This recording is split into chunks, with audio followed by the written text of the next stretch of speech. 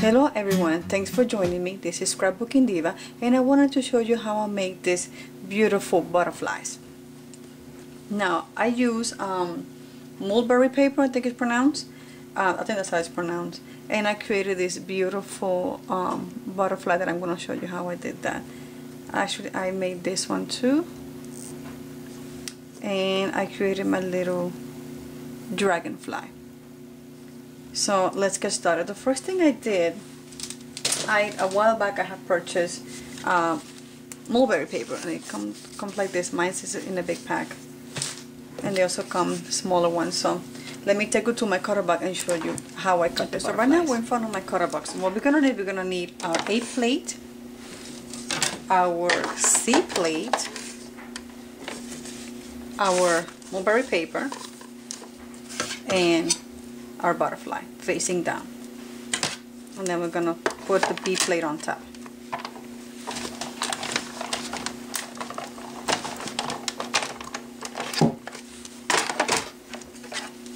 Now what we're gonna get is a beautiful impression and it's gonna cut out our image. And here we have our beautiful butterfly. Okay so we're right here in my work area so now what we need to do we need to create the body which is these little crystals that I added. Now the first thing you need you need a wire. Now this one let me see it says 26 gold permanent color copper wire.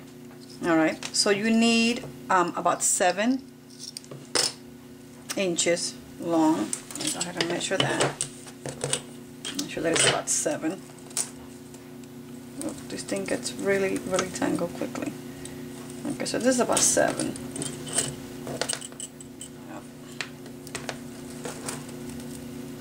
Let me secure it here.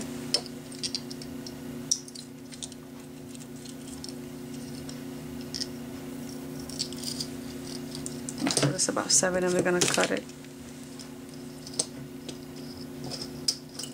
Okay, so now we have our wire for next thing we're gonna do we're gonna curl to make the little um, antennas. I'm just gonna go around sort of like that. Not perfect at this but and that's the first step right? That's that little curve right there. Then we're gonna take um, one of our crystals. This one is in the side let me see if I can remember what size this was this was actually the 6 mm okay in the color peach. So we're gonna feed that through. This is gonna be our first one. And then we're gonna feed the clear ones and this is the 4 mm and we're gonna feed uh, seven of them. We're gonna take seven of them. And we're gonna fight we have three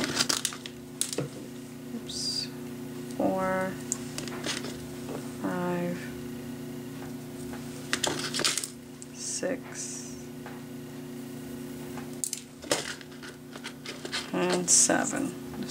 Yeah, we're gonna do seven. Come on. Okay.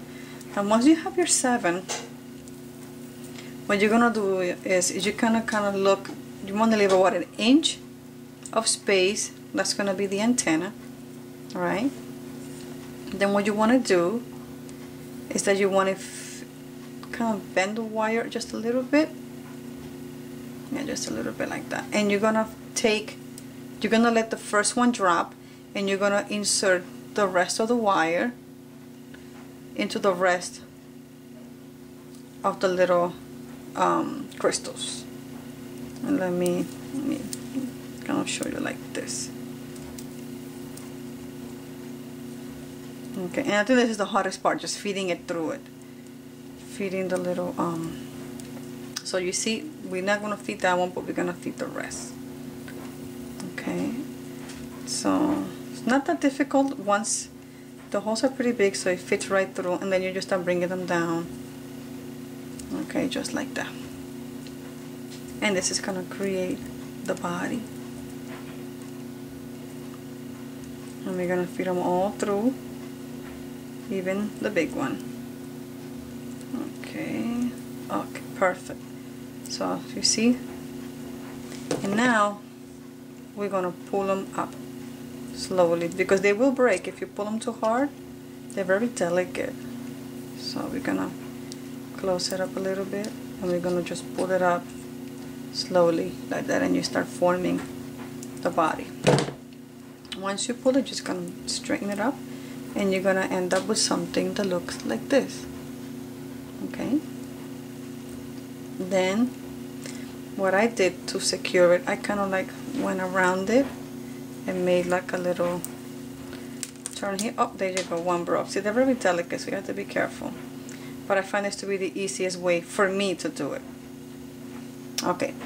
So now we have big antennas. We're gonna cut it to make them a little shorter. Uh, about there and about uh, there. Okay. And then we're gonna go ahead and turn a little bit make our little antennas. Something like that. And you do the same on the other side.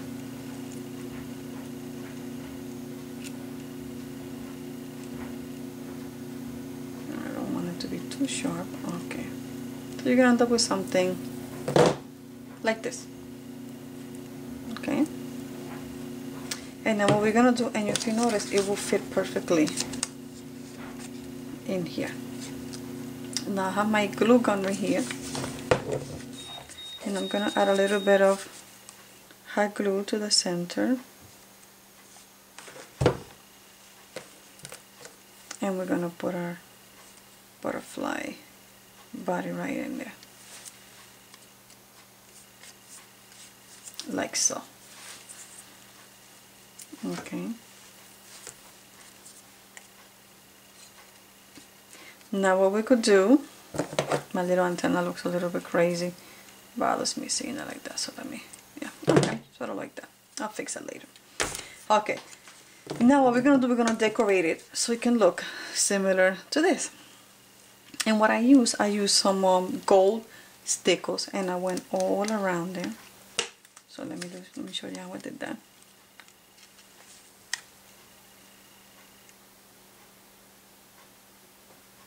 so you add some gold all around.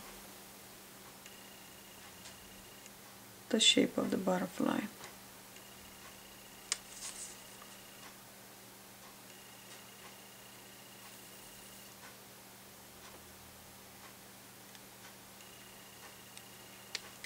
perfect.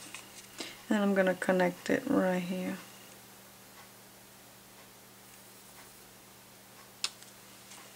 And you end up with something like this. You're gonna hold her. And you're gonna do the same on the other side. Let me start from here. Oh I added too much gold there.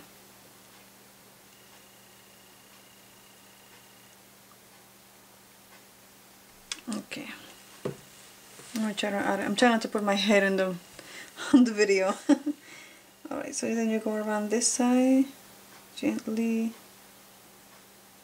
like that.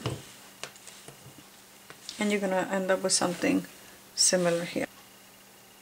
It doesn't have to be perfect. Not every butterfly is the same.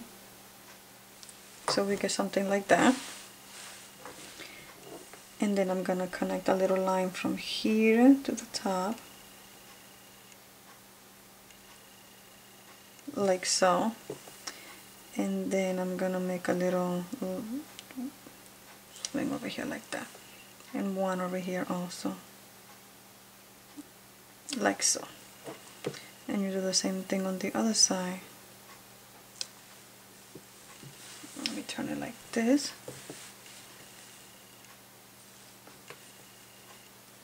I'm trying not to touch the stickles so I'm gonna run a line from here over to here and then from here make a little little curve here.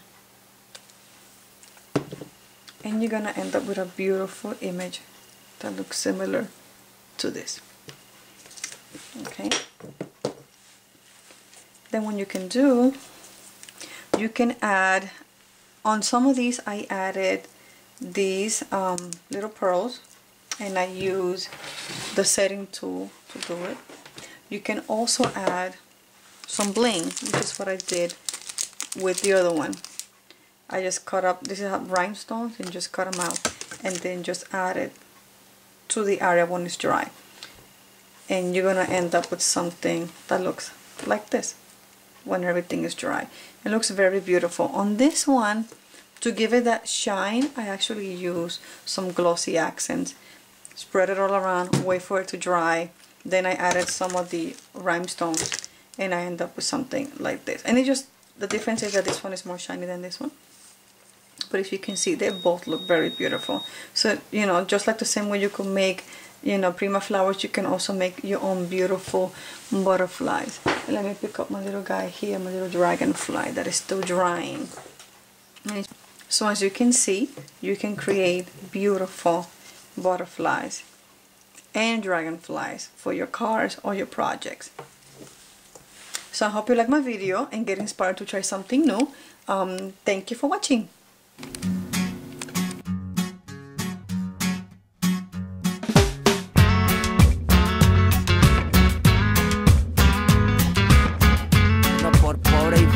pero antojado.